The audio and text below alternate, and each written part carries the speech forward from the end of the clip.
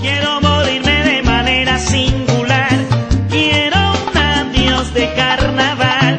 Quiero tu voz negra canela escuchar con su frescura natural. Bueno, esto me nació a mí hace más o menos aproximadamente 13 años, lo que hace que Jaime Garzón murió.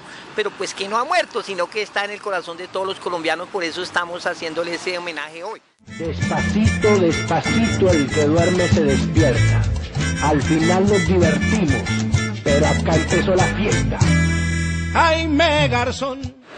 Para mí Jaime Garzón fue un revolucionario, fue alguien que realmente pudo cambiar este país basándose en lo que todos tenemos, que es la risa. Para mí Jaime Garzón fue un gran líder ideológico, personal, que formó en mí todo lo que es mi tendencia crítica frente a la realidad que está sucediendo y que sucedió en ese momento en el país. Un, personaje, un periodista que le gustaba salir por el pueblo y la iba por el pueblo. Para mí Jaime Garzón fue una persona la cual siempre se basó en unos ideales propios, el cual siempre fue una persona que defendió sus propios principios y sus propios valores pues frente a la sociedad sin pensar en, un juzgamiento, en qué podía decir la gente de él. Eh, siempre fue una persona que quiso darle a, eh, entender a la sociedad pues eh, la cruda realidad de este país. Pues asimismo Jaime Garzón pues, para mí en estos momentos es como un, como un líder, como un ejemplo a seguir. Jaime Garzón resucitó en su obra. Jaime Garzón, presente, presente, presente. Yo recuerdo tanto una lustrada que le hizo al doctor Serpa, que le dijo, oiga doctor Serpa, siga le pegó su briadita. Entonces el doctor Serpa dijo, sí, Dijo, oiga, doctor Serpa, mi mamá le manda a decir que hay muchas saludes, pero que no vaya a ser así como las muchachas del servicio. Entonces el doctor Serpa dijo, ¿cómo? Dijo, sí, que no hacen sino robar y no hacen nada.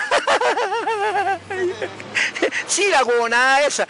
Y entonces yo también una vez estuve ilustrando ahí al, al doctor, este que hay ahora, doctor otro, eh, perdón, digo Petro, es que como me estaba comiendo un pedazo de bofe, entonces se me trabó la lengua. Sí, el doctor Petro, entonces lo estaba yo ilustrando. Ahí en la plaza de Bolívar le dije, oiga doctor, ¿y usted por qué cerró esa plaza de toros? Me dijo, ¿no le gustó que acabara con los toros? Le dije, no. Le dije, estoy triste, me hubiera gustado que hubiera acabado, pero con esos toros que hay aquí en el Senado, que todos se los llevan en los cachos.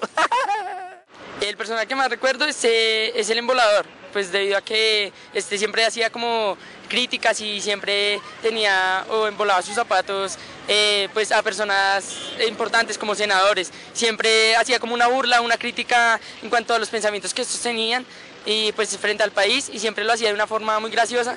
Estoy aquí presente para conmoverme de los principios del sistema que tenemos, que nos matan los mártires, que luchan por un cambio de sistema de gobierno.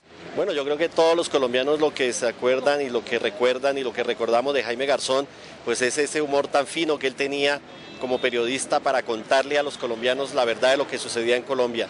Indudablemente que esto mucha gente que no le gustó, muchos factores de poder que vieron en Jaime Garzón un estorbo y trataron de silenciar al periodismo colombiano con su asesinato, como ocurrió también con Guillermo Cano. Creo que son etapas terribles de la historia de Colombia de agresiones contra el periodismo. Jaime Garzón resucitó en su obra, le abrió los ojos a un pueblo que se llama Colombia. Yo creo que la gente que lo asesinó no fue es gente realmente que no pensó con la cabeza, pensó que con asesinar a Jaime Garzón iban a lograr mucho o iba a cambiar este país. Mentira, lo que hicieron fue hacer un perjuicio. Yo creo que esa gente también le olió después de que hicieron ese asesinato. Bueno, lamentablemente lo que tenemos que decir hoy, 13 años después, es que el crimen de Jaime Garzón continúa en la impunidad.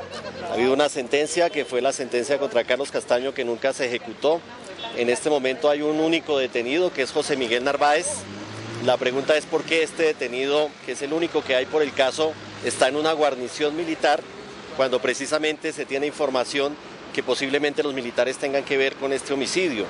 Entonces el juicio está dilatado, hay una investigación en la Fiscalía que esperamos que arroje resultados frente a los responsables de estos hechos, pero bueno, son 13 años de espera que son muy difíciles para los familiares, para todo el periodismo colombiano, por cuanto no hay justicia todavía, no hay verdad y esperamos que a futuro las investigaciones arrojen mejores resultados.